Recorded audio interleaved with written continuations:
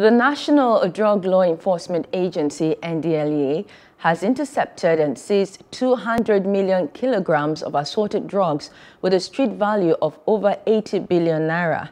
NDLEA chairman, retired Brigadier General Buba Marwa, said this when the acting Inspector General of Police, Usman Baba, paid him a courtesy visit in his office where he narrated that over 2,100 criminals had also been arrested in connection with the seizures with over 350 convictions secured.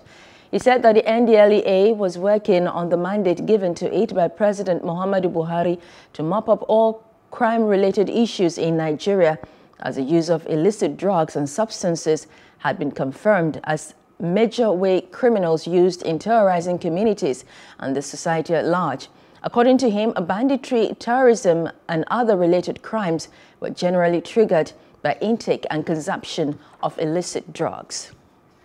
Hello, hope you enjoyed the news. Please do subscribe to our YouTube channel and don't forget to hit the notification button so you get notified about fresh news updates.